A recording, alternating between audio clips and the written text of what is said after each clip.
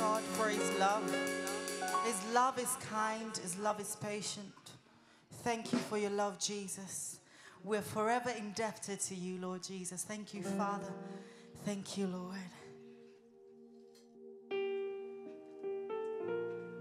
Come on, join us in worshiping this God that loved us to give His only begotten Son for us. Thank you, Jesus. We worship you, Jesus.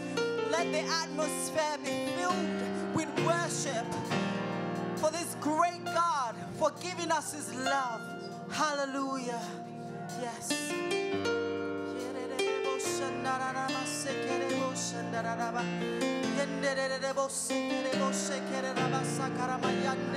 Can